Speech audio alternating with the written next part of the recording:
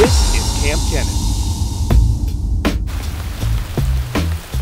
Woo! Man, it is wet. Okay, it's a rainy day, and I just love coming out on rainy days because you always get to see some interesting things. So today's bonus video is what I'm finding on a rainy day by the pond.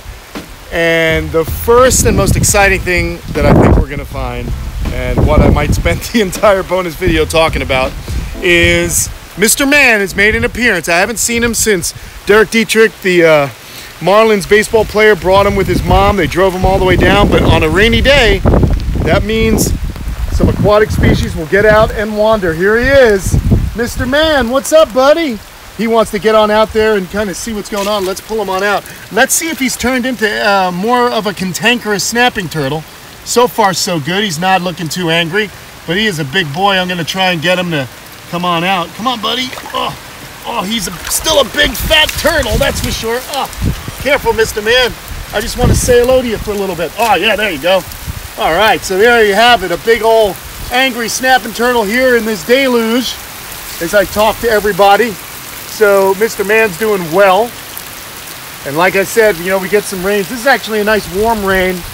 Uh, so the animals are all about, but there's some species I like to put away. And gosh, look at how incredible he is, man. Just a beautiful snapping turtle. It's a common snapping turtle from Ohio. Uh, the common snappers tend to get that flat midline. I don't want to get hit by him. But he's looking good, don't you think, everybody?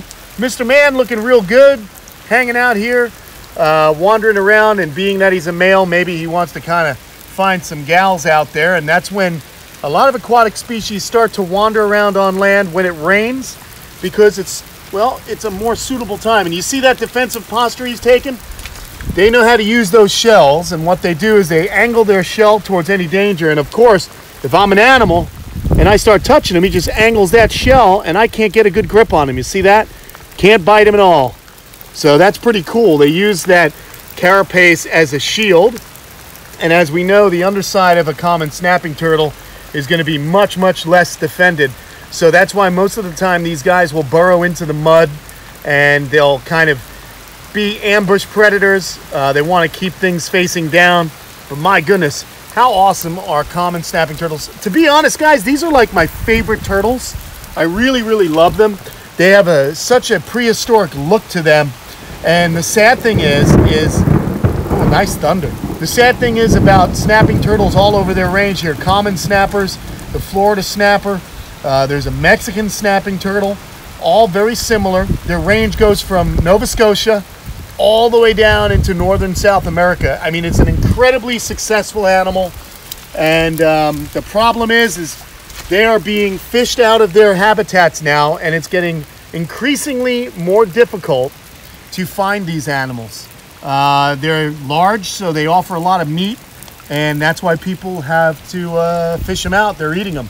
So snapping turtles are a species of concern.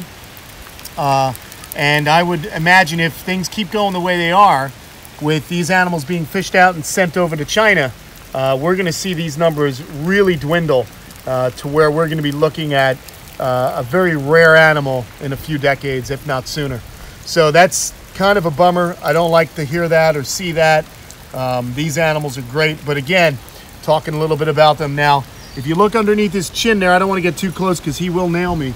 But underneath his chin, he's got those little barbs, those little tubercles. I'd point them out. Maybe I'll do this.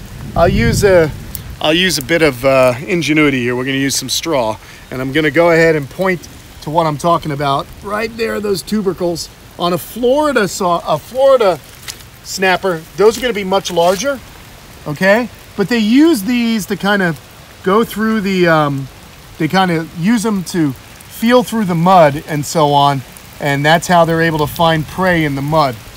Really, really cool animal. So glad he's making an appearance. Uh, I haven't seen him since we put him in the pond, and I knew I'd see him again one day, but that's good. That's what's cool about this pond. You know, the less bothering uh, you do with the animals, the better it is. But I'll tell you, why don't we pick him up and bring him closer to the pond? It's to be tough to do, but you notice where I'm to grab him. I'm to grab him behind the, the top part of his carapace, and he's a heavy guy. So I'm to carry him like this, not by his tail, just by the upper part of that carapace. Oh, yeah, Mr. Man, you're a big boy. Oh, you're big, I know. I know, buddy. Oh, his claws are big. Oh, my arms give out. Oh, I'm sorry, Mr. Man. Whew, he's on a mission. He wants to go that direction. Mr. Man, turn around, buddy. Turn around and go to the water. Go to the water, buddy. Come on. There's a big old pond. I want you to go back in it. Uh, again, snapping turtles, so amazing. Uh, just that prehistoric look, that large tail. Uh, so many people will misidentify common snappers as alligator snappers, and that's just because most of the time folks just think that they are uh, the most prehistoric thing they've ever seen. You know, they have, it's it's very rare you come across such a amazing beast. Hey, I hate it when you leave, man. But I love to watch you go. Look at that cute turtle butt. Nice high stance. Let's get on up behind him. Look at that tail. That is Godzilla's tail if I have ever seen one on a reptile. I mean, come on. It doesn't get better than that. Such an amazing reptile. So stoked you guys are getting to see him again.